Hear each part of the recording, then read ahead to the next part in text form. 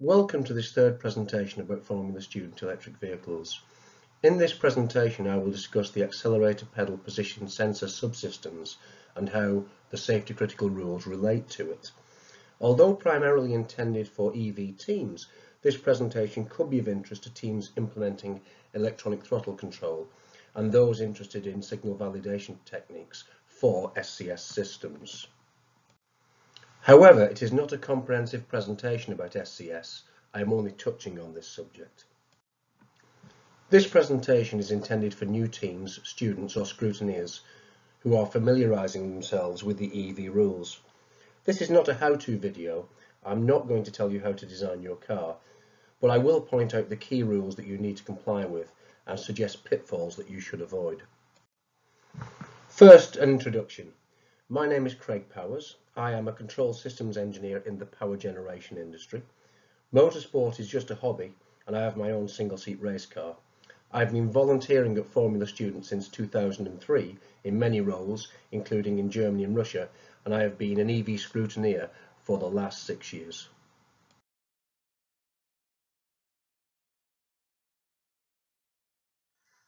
I had some immediate feedback on version 1 of the presentation that I had based it solely on using potentiometers for the apps. This was because I wanted to keep the safety critical signals examples simple.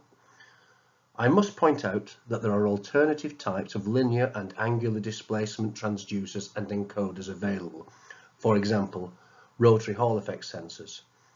So when viewing this presentation, please bear this in mind.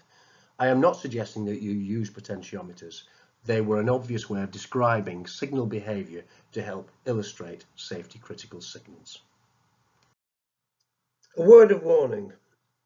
The apps has safety critical signals and the safety critical signal rules are quite an advanced topic so read the rules thoroughly. Make sure that you analyse your system design for all possible failure modes and explain your app's subsystem well in the FMEA and the ESF. It will help the scrutineers to review your design, and that could make all the difference of passing scrutineering. If you are attending the UK competition, then read the Formula Student UK supplementary rules. The UK rules require you to perform a comprehensive analysis of your system using an FMEA. Do this. It will help inform and refine your design. So let's put this in context. The APS is the accelerator pedal position sensor, typically a potentiometer, and there are a minimum of two in the system. Shown is a typical system with two apps monitored by a controller, the ECU, which sets a torque demand to an inverter or motor controller feeding a drivetrain motor. So let's look at the 2020 apps rules. The first few rules are about the mechanical arrangement. It needs to be operated by a foot pedal. The range of travel is defined as 0 to 100%. The foot pedal must return to the zero position when not actuated. You've got to have a positive stop to prevent any damage to the apps. And you need two throttle springs to pull the pedal back to the zero position. Now moving on to the electrical rules, there's got to be at least two sensors and they should have different non-intersecting transfer functions and we'll be discussing this in more detail later. And the app system is defined as safety critical. The rules tell us about what to do if there is an implausibility between the values of the apps, that the power to the motors must be shut down completely, but it is not necessary to open the shutdown circuit. And this suggests that this can be carried out as a software-based function within a controller such as the ECU. Implausibility is also defined as being more than 10 percentage point difference between apps values. And further rules tell us how we should physically arrange the wiring to allow for testing and what should happen if the accelerator pedal is released. We should have a zero wheel torque. This is safe. Now we come to the safety critical signals rules. It's quite obvious that the apps is going to be safety critical because it influences wheel torque. The SCS rules tell us that we must be able to detect certain classes of signal failures. Open circuit faults, short circuits to ground, short circuit to supply voltage. Also, any implausibility due to out of range signals, things that are mechanically impossible. Also covered are rules for digitally transmitted signals, which may also apply to your system. I'm going to start with a flawed design to illustrate the weaknesses of that design and how we can make something better. Now, first of all, I want to point out that this app system does not satisfy the rule about having non-intersecting transfer functions. In this example, the transfer functions are identical. Now, that's a glaring mistake, but it's not relevant to what I'm going to show you, so bear with me. Where I am taking you is a discussion about implementing safety critical signals and systems that are defensive to signal faults. This particular apps is constructed with zero pedal position equaling the end of the potentiometer travel. So the potentiometer returns zero volts at zero pedal position. Imagine that the car has passed scrutineering and partway through the first dynamics day, we develop an open circuit fault on APS B due to a broken wire. There is no power to the potentiometer, so the APS B signal remains at zero volts. The team take the car to the acceleration event. The driver lines up on the start line and floors the accelerator pedal. APS A responds, but APS B stays at zero volts due to the broken connection. The APS detects a 10% discrepancy between the two values, and the car requests zero torque demand due to the plausibility check. The car coasts to a halt. The team fail the dynamic event. They get no points and they have no idea what went wrong and they are now under pressure to find that problem. Wouldn't it be better if they had advance warning of the problem so that they could fix the problem before they went to the accelerator event start line. I will now introduce the concept of a live zero signal, i.e. one where the sensor returns a non-zero value when the system is powered up but in the dormant or zero state. We use this technique in many industries.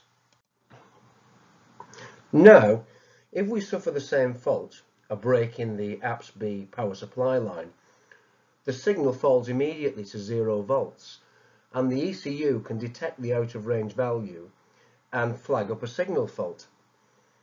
If the signal failure is detectable uh, and displayable via an indicator or screen message, then the team can see the fault as soon as they power up the LV. They'll know about the fault before they go to the dynamic event, can fix it, and therefore they won't lose the points. So we've used the concept of live zero signals to allow the system to detect an open circuit or power supply fault. We've now got improved diagnostics. We are able to diagnose and fix faults in advance. And therefore we've got improved availability of the protective functions and of the race car itself. So let's look at the common failures that occur. First of all, loss of power. Well, we've just looked at that. If we get loss of power, then there is no current flow through the sensor or through the potentiometer in the case of the apps. The scanner input will be pulled low, down to zero volts by the ground connection. And the scanner, the ECU, can detect the fault by analog low threshold checks. In this scenario, we have a break in the connection down to zero volts or down to ground. Again, there's no current flow through the sensor. But in this case, the scanner input is pulled high by the supply voltage. Again, the scanner can detect the fault by an analog voltage check, a high threshold.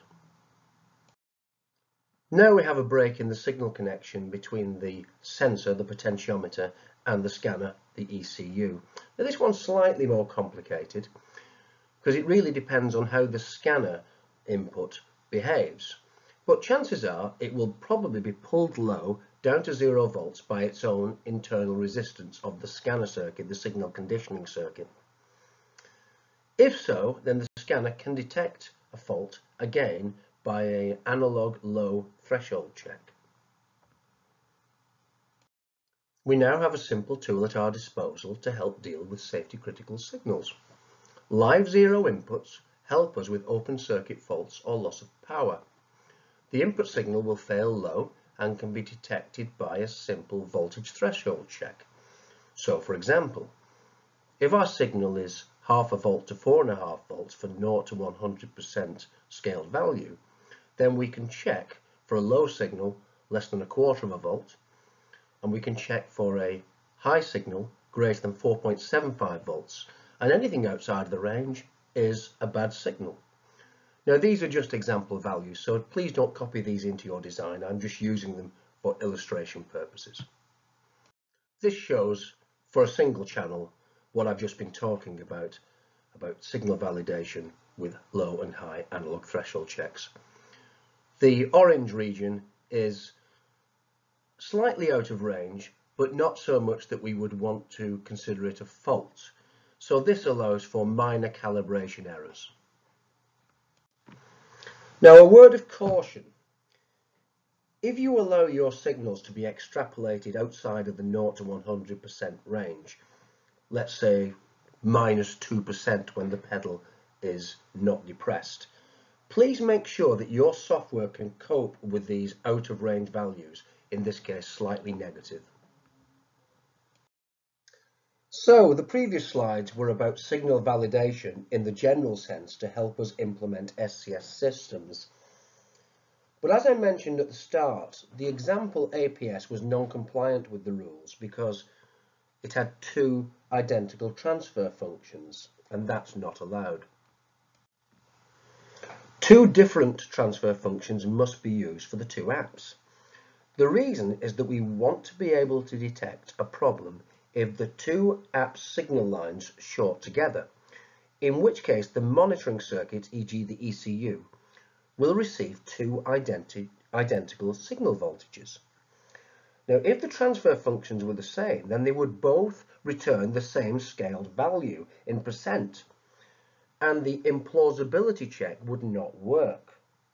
But if we use different transfer functions, and they are sufficiently different that the two scaling systems return more than 10% discrepancy, then we will be able to diagnose the fault of the two signals becoming connected together. So I just want to compare the rules uh, between 2019 and 2020. In 2019, positive slopes were specified, but that has been removed in 2020 and now they just need to be non-intersecting. Now, the only way that two lines can be non-intersecting is to have the same slope. But I don't think that this rule is forcing us to adopt the same slopes for the two apps transfer functions. My interpretation is that the two transfer functions should not intersect within the valid range of pedal travel, i.e. within the 0 to 100% range but I do stress that this is my interpretation of the rules. So let's look at the two ways of implementing non-intersecting apps transfer functions. Well, the first method is to have them parallel, but with different offsets. Offset, another name for that is the intercept, which is the value where the line crosses the y-axis. It's important that the two transfer functions need to return greater than 10% discrepancy if they are subjected to the same input voltage. So this means that the two intercepts need to be more than 10% apart. So this is option two, which is different slopes but intersecting outside of the normal pedal range. Again, we need two lines to be separated by at least 10% in the y direction across the entire valid pedal range, so that if we get a short circuit between the two app signal lines, then the transfer functions will result in a greater than 10% discrepancy, thereby triggering the plausibility check. Two dissimilar transfer functions like this are achieved by different slope and offsets. Don't fall into the trap of thinking that just using two different potentiometer values, e.g. a 10k pot and a 15k pot, will give different transfer functions. It won't, because they are just potential dividers. Instead of looking at graphs, let's look at what this means in the physical arrangement. So how do we offset two potentiometers for use by the apps? Well, the first method is to physically offset the two pots by starting their zero position at different angles. So this changes the offsets, but it doesn't change the slopes. And it would result in the parallel lines example that I gave before. Another method is to add biasing resistors in one or more of the app's potential divider circuits.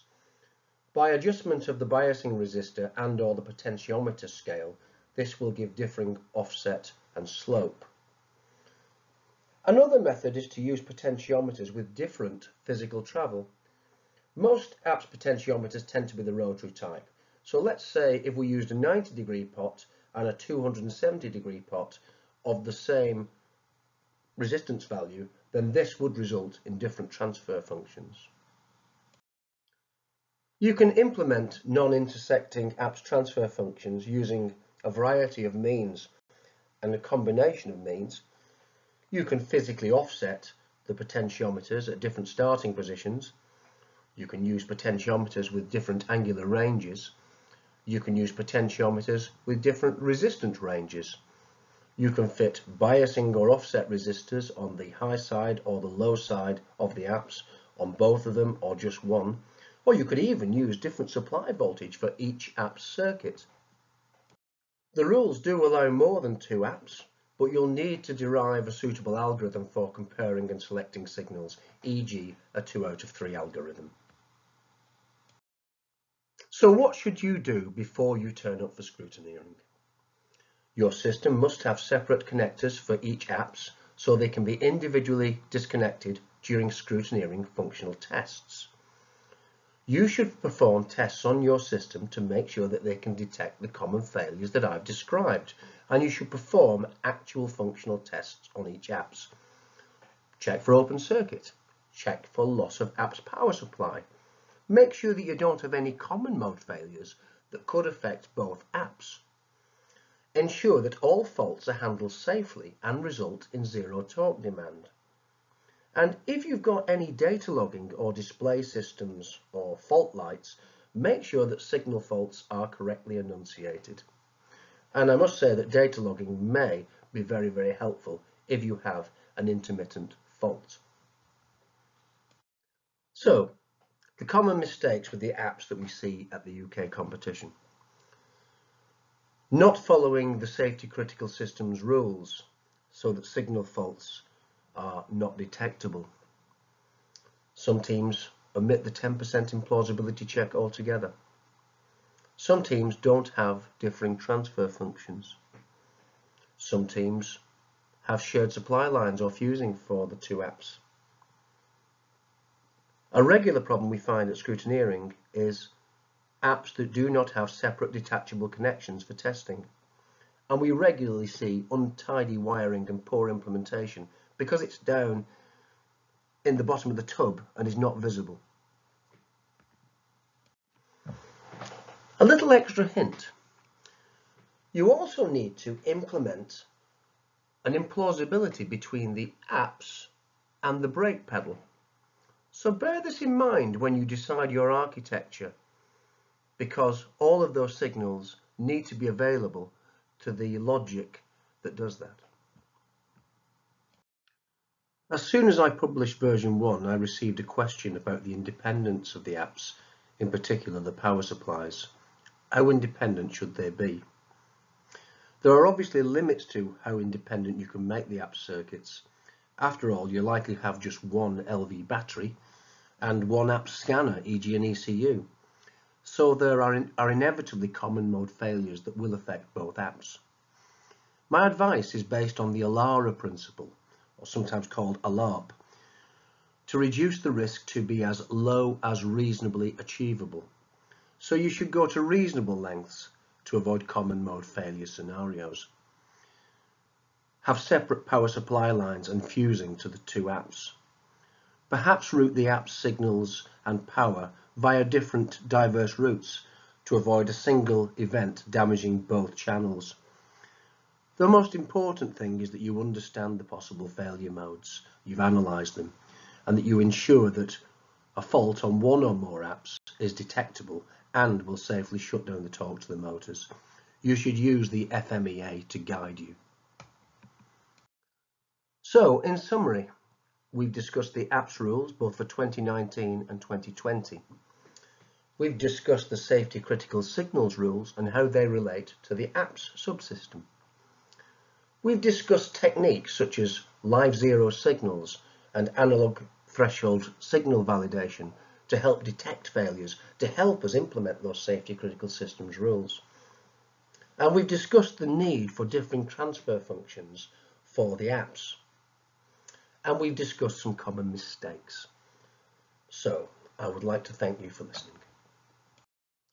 I would like to stress that this is my own work. It's not official or sanctioned by any of the Formula Student or SAE organisations or competitions.